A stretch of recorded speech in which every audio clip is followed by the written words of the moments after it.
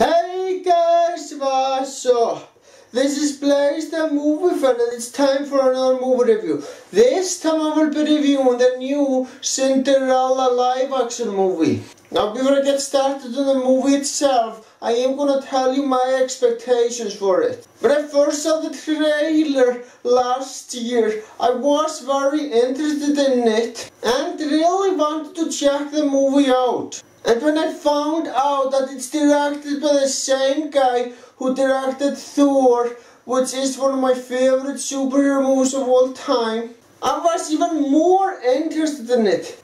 And this movie did not disappoint. I will for the most part not compare this movie from the animated one from 1950. But I will make one comparison though. Other than that, I am going to judge this movie by its own merits.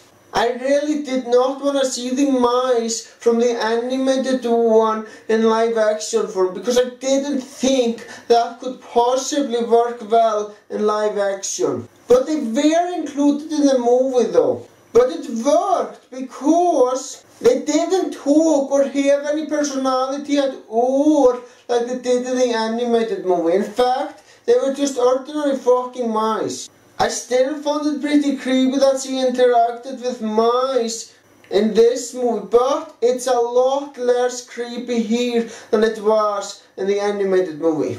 That's it, that's all the comparisons I'm making. For the rest of the review, I'm just gonna tell you how good the movie is on its own merits. First, I'm gonna talk about the uh, character Cinderella, played by Lily James. Her actual name is actually Ella. Cinderella is apparently just an insult to Wordsworth. But anyway, Cinderella is very fucking kind, very fucking nice, and very easy to get along with. Unfortunately though, her niceness is her weakness. Did I also mention that she is fucking beautiful? She is a great protagonist and I was rooting for her. Now the next character that I'm gonna talk about is Lady Tremaine, played by Cate Blanchett. She is a cunt, a massive fucking cunt. She expects Cinderella to do all the chores instead of doing any of that shit herself. And worst of all, she only feeds Cinderella the leftovers. That is so fucking disgusting. The way she treats Cinderella is fucking unacceptable. But you know what? That's exactly what makes her such a great villain.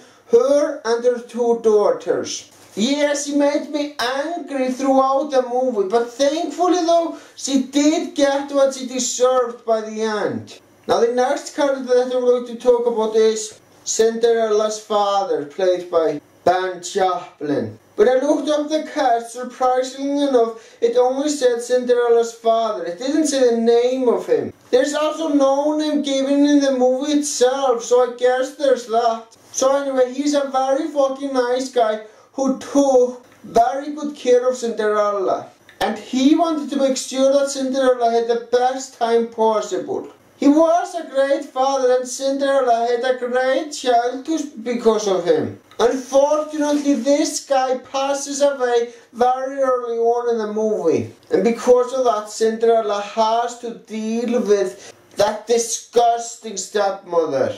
But anyway, he's overall a great guy and one of my favorite characters. For what I think of the prince and the fairy godmother, well, I will just say that they are fucking awesome in this movie. I want you to have the best time possible while watching the movie. So I won't say anything more about the prince or the fairy godmother. Now I'm going to talk about the visuals. Yes, this movie does have visuals, mainly when the fairy godmother is doing her magic. And the visuals are fucking brilliant. But that's just expected since this is a mainstream movie. But despite that, I can't help but to get impressed by visuals in movies no matter how many times I see them. And this movie definitely has fucking fantastic ones. Now it's time for my overall thoughts. I expected a great movie and in return I got a fucking awesome one. I love this movie so much that I wouldn't mind having it on Blu-ray. In fact, I would be very fucking happy to have that. So for that, I'm going to give this movie two thumbs up. Well, guys, that's all I gotta say. Thank you for watching and have a great day.